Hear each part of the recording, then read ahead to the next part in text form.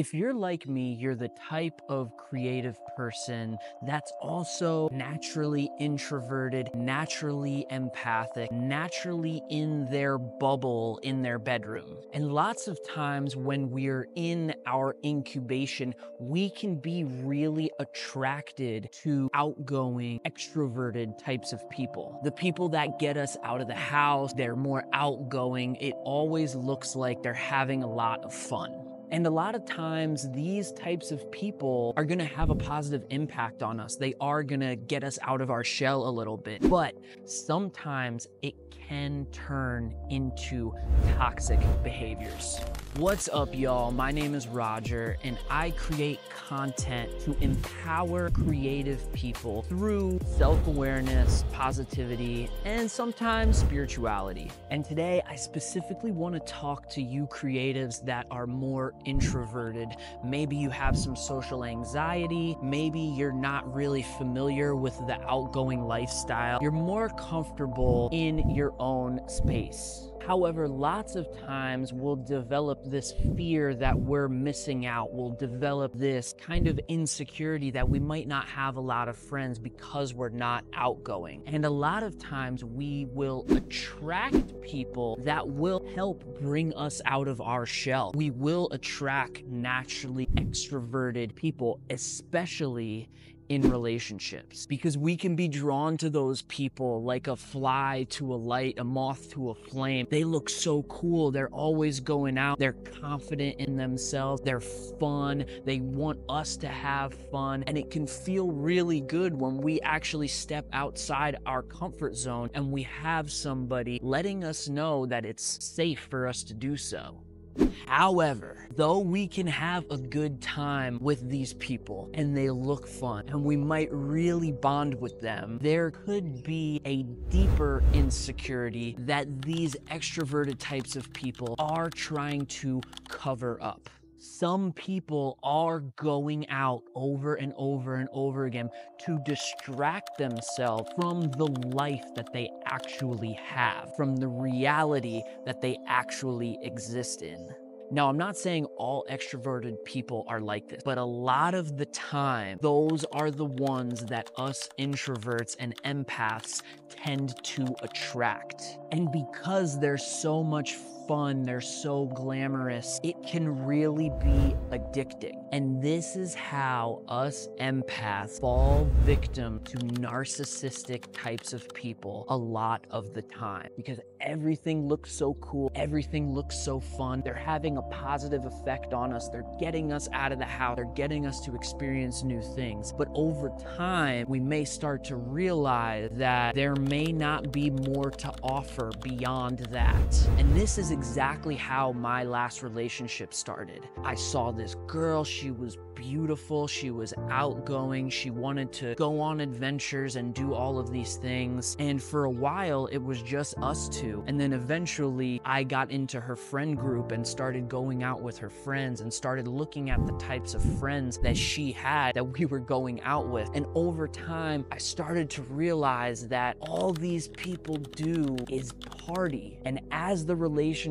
progressed and as we even were living with each other, I started to see how this girl would let her responsibilities go in favor of this lifestyle to go party, to go out, to go have fun. And that's where it got really conflicting for me because I'm like, am I gonna be the bad guy? Am I gonna be the good guy? Should I also go out and forget all these responsibilities and just have fun? Or should I be the guy that stays behind and tries to clean up the mess?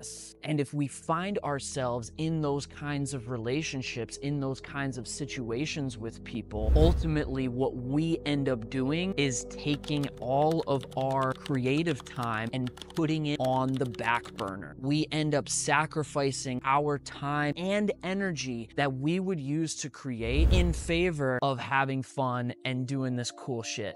And that's ultimately what the solution is to all of this is recognizing how to have a balance but you can't really tell other people to be more balanced. You can't really tell other people what to do. You can only do it for yourself. So once I stepped away from that relationship and I realized that this wasn't for me, I incubated myself. I went back to being that introverted person. But I set the intention for myself to make myself into a better person. And now I set the intention for myself to be more outgoing with just me, not needing another person to pull me out of my shell. I want to be more confident in myself that I can be outgoing and friendly. But I have to put myself in those situations instead of waiting for somebody to come save me. And part of that confidence is coming from being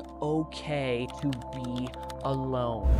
And one thing that I did recently is I flew by myself to Austin, Texas, and stayed at a hostel for seven days with complete strangers. I didn't know anybody and I didn't have anything to do. I had no itinerary, I had no plan at all. All I did every day was I woke up, I went outside, and I picked a direction. I went to this cafe, that cafe. I tried to chat with as many people as possible. I tried to ask them, What do you guys do for fun around here? Where should I go today? And I just took people's recommendations. I took that opportunity to go to a different place and be a different person, to be the version of myself that I wanted to be, which is more confident, more outgoing, and more social. Now, after having that experience, obviously back home now, and I'm thinking, how can I take that extroverted Roger and merge it with this introverted Roger to create this holistic person, which I guess is gonna be my final form?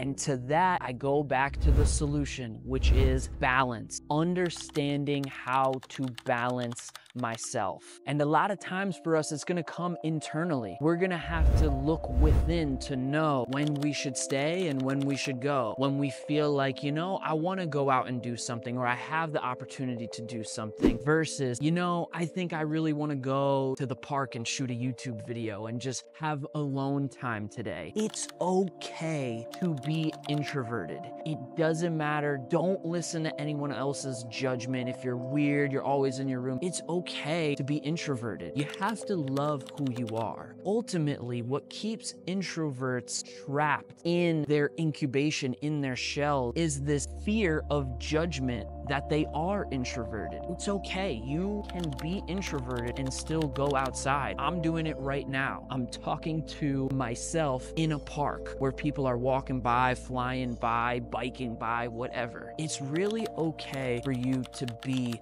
who you are. But when you find yourself thinking, I want to be more like this, and you set that intention for yourself, then comes time to do the work. Put yourself in different situations and experiment to expand your identity. Once you're more confident in yourself as a person, you will naturally become more confident in yourself as an artist, as a creative person, as an empath. It's all about bringing that energy back into you.